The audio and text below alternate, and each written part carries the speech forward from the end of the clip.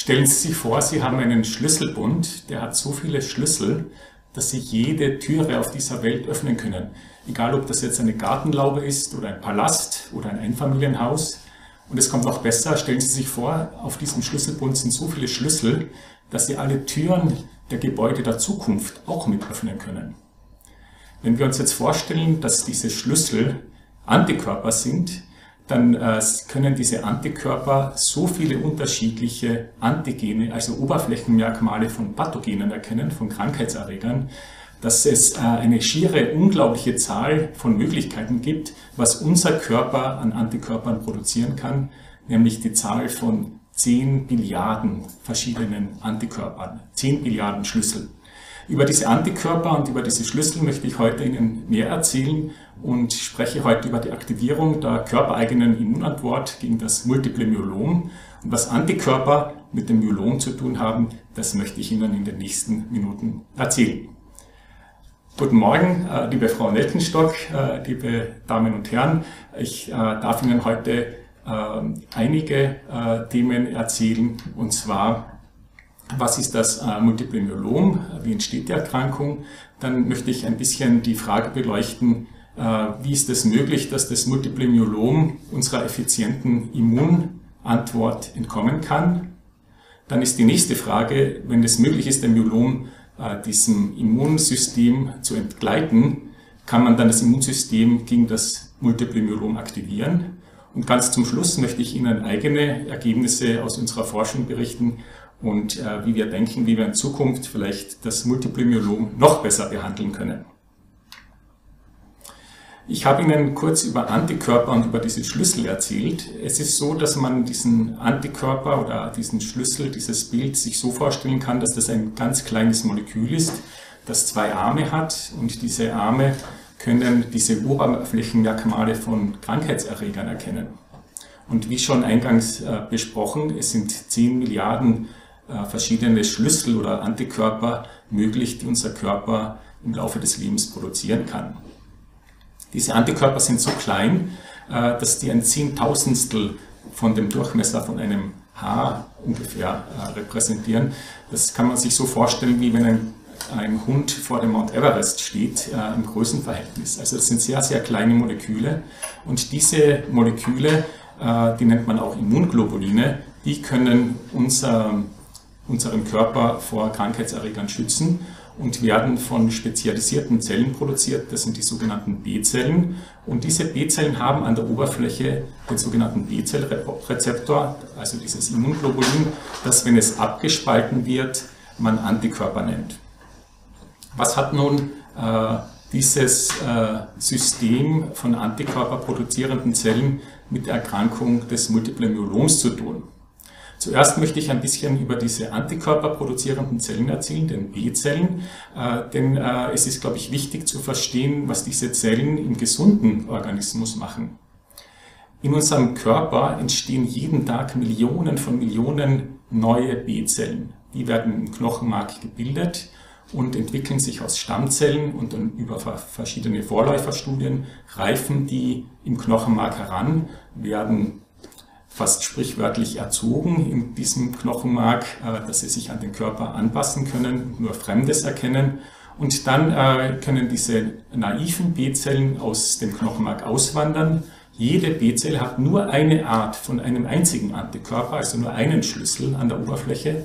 Und dann gehen diese B-Zellen auf Wanderschaft, sitzen in den Lymphknoten, warten darauf, ob ein Krankheitserreger kommt oder nicht, wandern weiter und äh, so geht das äh, eine Zeit lang.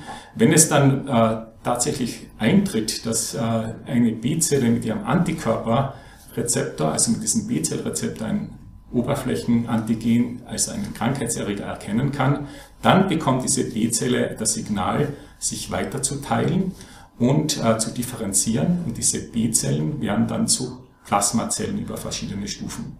Und diese Plasmazellen sind die Zellen, die die Antikörper produzieren können. Das heißt, diese Immunglobuline äh, sind dann nicht mehr an der Zelloberfläche, sondern werden in den Körper abgegeben und diese Antikörper schützen uns.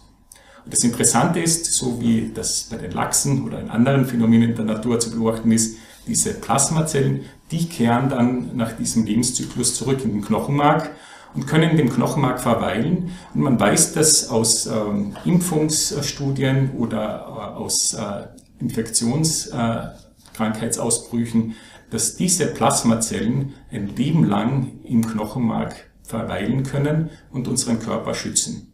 Das heißt, diese Zellen können 70, 80 Jahre in dem Knochenmark sich zurückziehen und Antikörper produzieren, wenn es nötig ist, äh, sich gegen Krankheitserreger, nämlich denselben Krankheitserreger, mit dem man zuvor Kontakt hatte, zu verteidigen. Das heißt, das Knochenmark produziert B-Zellen, die später zu Plasmazellen reifen können und diese Plasmazellen, die produzieren Antikörper. Was hat das mit dem Multiple Myelom zu tun? Das Multiple Myelom ist eine Erkrankung, in der die Plasmazellen entarten. Und zwar nur eine einzige Plasmazelle. Das heißt, von diesen vielen Zellen, die diese vielen verschiedenen Schlüssel produzieren können, gibt es eine Zelle, die eine Mutation bekommt, die entartet und sich dann beginnt durchzusetzen. Und im Laufe der Zeit verdrängen dann diese Myelomzellen andere Zellen, sodass dann nicht mehr Platz für andere gesunde Zellen ist. Und das ist natürlich äh, ein ungesundes Gleichgewicht und das manifestiert sich dann später als Erkrankung. Jetzt ist die Frage, wie entsteht das Multiple Myelom? Denn äh, nur eine einzelne entartete Zelle kann ja noch nicht eine Krankheit an sich auslösen. Äh, wie funktioniert das, dass das überhaupt möglich ist, dass diese eine einzelne entartete Zelle äh, den ganzen Körper überfluten kann? Und hier äh, treffen auf jeden Fall Mechanismen ähm, zu, wie wir sie in unserer Umgebung sehen können, nämlich die Mechanismen der Evolution, so wie sie Charles Darwin beschrieben hat. Es ist so, dass äh, ein äh, entarteter äh, Klon, der diese entartete Plasmazelle, ähm, dass der zuerst einmal länger überleben muss. Gut, das können viele Plasmazellen, aber dann muss sich dieser Klon durchsetzen und hier sind Anpassungen an die Umgebung notwendig. Und zwar vielfältige Anpassungen. Und das Interessante ist, dass äh, diese Myelomerkrankung ganz äh, äh, besondere Charakteristika hat, nämlich dass zum Beispiel das Multiple Myelom sich eigentlich auf das Knochenmark beschränkt und den Knochen zerstört und nicht zufällig irgendwo ist. Das heißt, offensichtlich äh, spielt die Umgebung bei dieser Erkrankung eine große Rolle. Und äh, das kennt man auch aus äh, der Biologie. Hier ein Beispiel von den Vögeln, die nicht fliegen können, aber sehr gute Läufer sind. Äh, hier ist es so, dass äh, wenn man die genetisch analysiert, diese unterschiedlichen Vögel, dann sind die gar nicht miteinander verwandt oder nur sehr, sehr, sehr weitschichtig verwandt, äh, viel fremder als man denken würde. Aber gleiche Umgebungen haben dann zu dieser sogenannten konvergenten Evolution geführt, dass diese laufenden Vögel, die nicht mehr fliegen können, dann zum Teil einen sehr ähnlichen Phänotyp als ein ähnliches Erscheinungsbild haben. Und ähnlich kann man sich das mit dem Multiple Myelom vorstellen. Das heißt, ähm, wie äh, kann das Myelom sich jetzt durchsetzen? Und hier sind ganz viele Prozesse notwendig und die spielen äh, sehr eng mit unserem Immunsystem zusammen. Denn unser Immunsystem äh, ähm, verteidigt uns nicht nur gegen Krankheitserreger von außen, unser Immunsystem schützt uns auch vor Zellen, die entartet sind.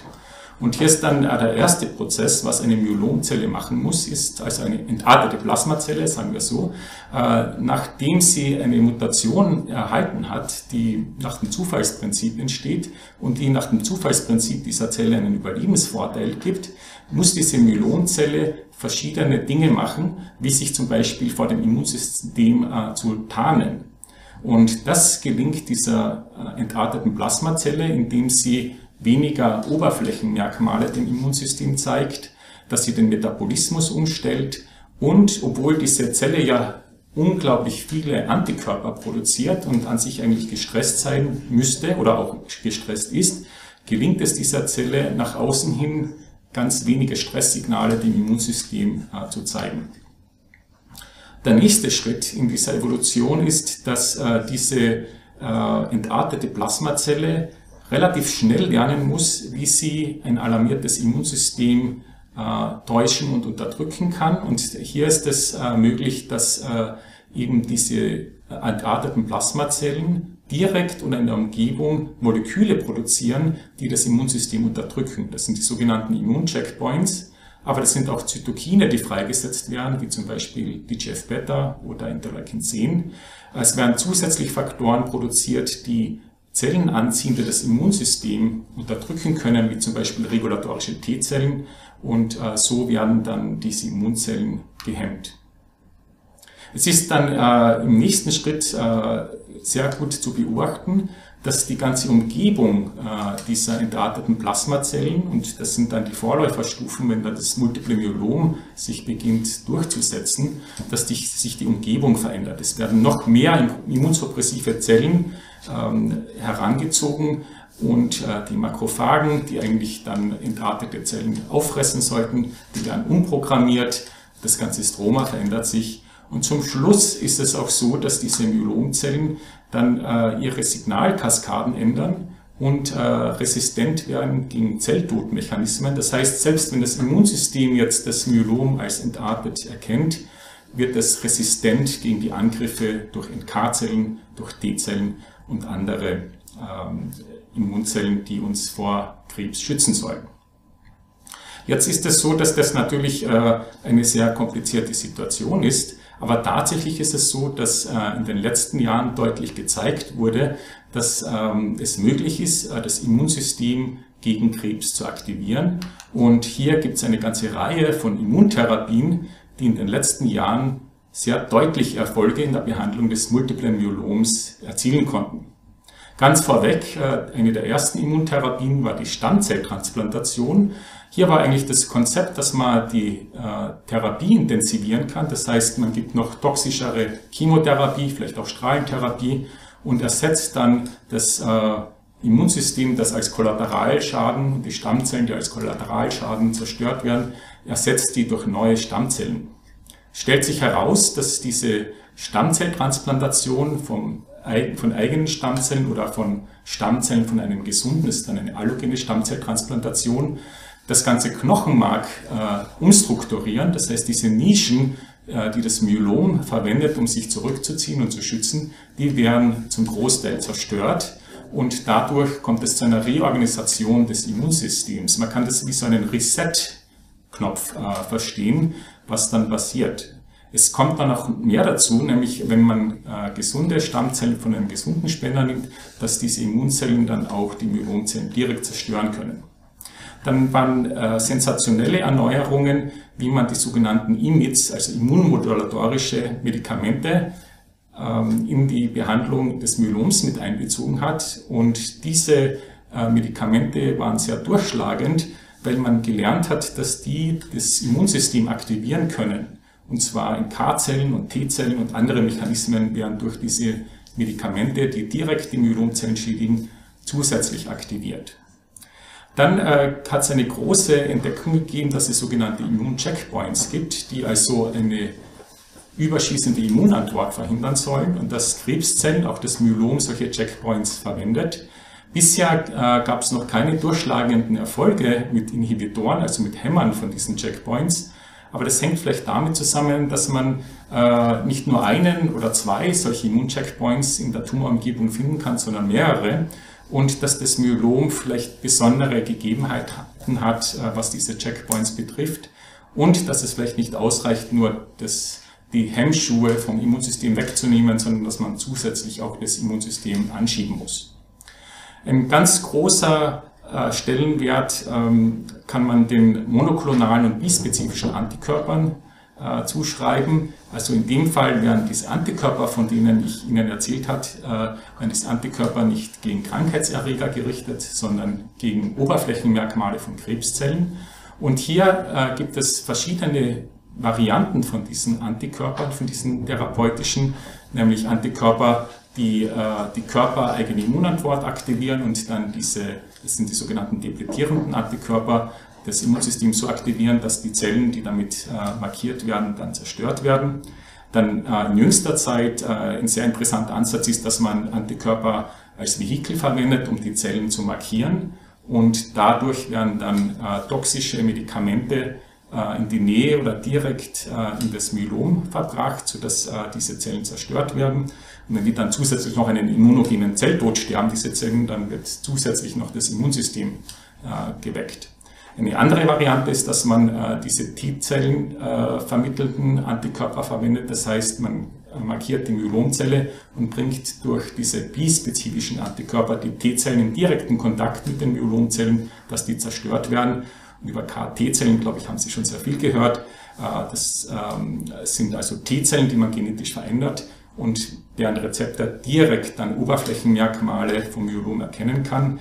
Hier gibt es äh, durchschlagende Erfolge, aber es ist auch so, dass man gelernt hat, dass oft Resistenzen entstehen, zum Beispiel diese Oberflächenmerkmale, die man ausgesucht hat, zum Beispiel BCMA, können von Myelomzellen nach unten äh, reguliert werden, also verschwinden von der Oberfläche und dadurch kann dann der äh, Tumor äh, dann dieser KT-Zelle entkommen. Daher arbeitet man an weiteren ähm, KT-Zellkonstrukten und weiteren Antikörpern, um weitere Oberflächenmerkmale als Zielstruktur zu nutzen. Jetzt ist die Frage, wenn äh, diese äh, Therapien zwar erfolgreich sind, aber wie ich Ihnen erzählt habe, das Myelom ja nach den Gesetzen der Evolution funktioniert, dass äh, durch eine verändernde Umgebung immer dann dieser Zellklon oder diese Tochterzelle übrig bleibt, die resistent ist gegen den einen oder anderen Immunmechanismus, gibt es dann nicht äh, Strategien, dass man versucht, äh, die gesamte Krankheit zu erliegen zu bekommen. Und das wäre, wenn man vielleicht ganzheitlich, gesamtheitlich versucht, äh, dieses Myelom äh, so zu packen, äh, dass es keine Escape-Varianten gibt, also dass es keine Klone gibt, die dann irgendwie dem Immunsystem entkommen können. Und hier ist es, glaube ich, wichtig für zukünftige Therapieansätze, dass man die gesamten Eigenschaften der Grunderkrankung berücksichtigt. Und zwar das Multiple Myelom, wie ich Ihnen erzählt habe, stammt ja von diesen Plasmazellen ab. Und gesunde Plasmazellen können ja ihr ganzes Leben lang in ihrem Körper verweilen, sind also von Haus aus ähm, äh, langlebig und äh, weil die im Knochenmark sind, sind offensichtlich abhängig von ihrer Umgebung. Und das Gleiche trifft auch auf das Multiple Myelom zu. Und äh, auch diese gesunden Plasmazellen werden eigentlich von dem eigenen Immunsystem in Ruhe gelassen und das missbrauchen offensichtlich auch die Multiple Myelomzellen. Diese Eigenschaften sind aber vielleicht auch die äh, Schwachpunkte oder Angelpunkte, wo man vielleicht in Zukunft therapeutisch noch stärker ansetzen könnte. Denn die Abhängigkeit äh, von der Umgebung sagt uns, dass Interaktionen mit der direkten Umgebung im Knochenmark äh, für die Myelomzellen wichtig ist, könnte das nicht eine Achillesferse sein für die Erkrankung. Das zweite ist, die äh, malignen Plasmazellen, diese entarteten Plasmazellen, sind so wie gesunde Plasmazellen sehr resistent und langlebig. Kann man nicht diese Resistenzmechanismen aushebeln? Und das dritte ist, dass so wie gesunde Plasmazellen eine Immunantwort gegen diese Zellen verhindern, kann das nicht auch für die Multiple Myelomzellen sein, und gibt es hier Möglichkeiten, dass man über diese Mechanismen vielleicht äh, die Immunantwort aktivieren kann? Und das äh, ist etwas, was wir in meiner Arbeitsgruppe verfolgen und gesamt gesehen denken wir, äh, sollte oder könnte das Fundament sein für ganz neue Therapiekonzepte. Hier möchte ich Ihnen in Kürze zum Abschluss ein paar Ergebnisse zeigen. Das Myelom, der der Film spielt das hier links nicht, aber das Myelom ist in direktem Kontakt äh, mit Blutgefäßen. Und das Interessante ist, in diesem Kontakt äh, gibt es bestimmte Moleküle, wie das Myelom direkt mit diesen Blutgefäßzellen kommuniziert. Und eines dieser Moleküle konnten wir identifizieren, das ist das sogenannte GEM-E-Adhäsionsmolekül. Das Interessante ist, wie in einem Teufelskreis wird diese Expression von diesem GEM-E auch auf den Blutzellen angeregt und so kann das Myelom sich immer mehr im gesamten Körper ausbreiten. Und tatsächlich ist es so, nicht nur in vitro, sondern auch dann in einem präklinischen Mausversuch, dass man, wenn man diese Interaktion blockiert, kann man das äh, äh, Myelom hemmen und die Ausbreitung der Krankheit verhindern. Das Zweite, was ich Ihnen gesagt habe, ist, dass das Myelom abhängig ist von Signalen aus der Umgebung, die jetzt nicht nur durch Zellkontakt zustande kommen, sondern auch durch Zytokine, wie zum Beispiel Interleukin 6 oder TNF-Rezeptor, Liganden, April, BAF und andere. Und äh, das Interessante ist, äh, dass natürlich diese Zellen, die diese Signale aufnehmen wollen, die entsprechenden Rezeptoren an der Oberfläche haben müssen. Das BCMA hatte ich schon erwähnt, das ist eine Zielstruktur für KT-Zellen. Das äh, ist sehr oft auf diesen Myelomzellen zu sehen. Aber hier in der Analyse können Sie äh, äh, erkennen, dass nicht alle Zellen sehr viel von diesem Buff an der Oberfläche haben. Dafür aber werden andere Rezeptoren, die auch Überlebenssignale vermitteln, auf diesen Zellen exprimiert. Das heißt, man kann sich sehr gut vorstellen, wenn ich jetzt Zellen, die dieses BCMA hochexprimieren, therapeutisch adressiere, dass dann andere äh, Rezeptoren äh, kompensatorisch hochreguliert werden und das Myelom der Immunantwort entkommt. Und hier haben wir uns jetzt mit Harald Weyan zusammengetan, ein sehr erfahrener Biochemiker und Molekularbiologe in Würzburg, und haben äh, uns überlegt, kann man nicht diese Rezeptoren gleichzeitig adressieren.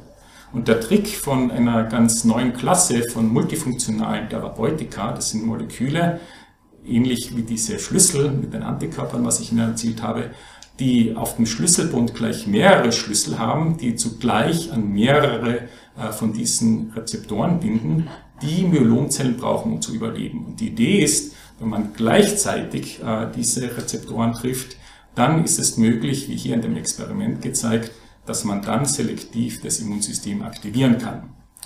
Und wir haben Glück, dass wir in Würzburg hier diese tolle Stiftung Forschung hilft haben. Und hier hatten wir ursprünglich eine Anschubfinanzierung bekommen, um dieses Grundprinzip mal zu erproben. Und jetzt äh, sind wir in der Lage, dass wir mit primären Patientenproben, die wir über die Diagnostik äh, gewinnen können, dank des Einverständnisses vieler Patienten, dass äh, Zellen, die von der Diagnostik übrig bleiben, auch für die Forschung verwendet werden dürfen und äh, mit präklinischen Mausmodellen, um das dann auch systemisch äh, zu beweisen, dass es keine Nebenwirkungen gibt und diese Therapie äh, erfolgreich und effizient ist, können wir diese multifunktionalen Therapeutika jetzt für die Myelomtherapie erproben und wollen das, wenn es uns gelingt, äh, so schnell wie möglich in die Klinik bringen. Das heißt, zusammenfassend ist es jetzt gelungen, über eine neue Klasse von äh, multifunktionalen Therapeutika, die wie nach dem Lego-Baukastensystem zusammengesetzt werden können, zugleich äh, Krebszellen zu hemmen. Und in diesem Moment, wo man diese Rezeptoren hemmt, wird das Immunsystem aktiviert. Und anders hier als auf dem Bild gezeigt, sind es dann also nicht vier Hände mit vier Hämmern, die separat sind, sondern es ist vom Prinzip ein Molekül, das zugleich äh, drei, vier oder mehrere Moleküle, die wichtig sind für das Myelom, adressieren kann und dann das Immunsystem aktiviert wird. Diese Forschung ist nur möglich dadurch, dass ich ein wunderbares Team habe von sehr engagierten jungen Leuten. Ich konnte heute äh, meine Mitarbeiter jetzt nicht namentlich erwähnen, aber es sind sehr viele junge, engagierte Wissenschaftler äh, und ich kann auch diese Forschung nicht machen ohne die Unterstützung durch Sie und vor allem durch die Unterstützung des Vereins Hilfe im Kampf gegen Krebs und die Stiftung Forschung hilft, die Frau Welkenstock ins Leben gerufen hat und durch andere Forschungseinrichtungen, die dann in Folge dann diese äh, Grundkonzepte, die wir mit dieser Anschubfinanzierung äh, zuerst äh, testen konnten, dann weiterhin fördern. Und äh, damit bin ich am Ende meines Vortrags. Wenn Sie Fragen haben, freue ich mich darüber. Und ich hoffe, ich konnte Ihnen ein bisschen Perspektiven zeigen, dass die Forschung sehr aktiv ist und dass wir versuchen, die Therapie des Multiple Genoms in Zukunft noch besser zu gestalten. Vielen Dank.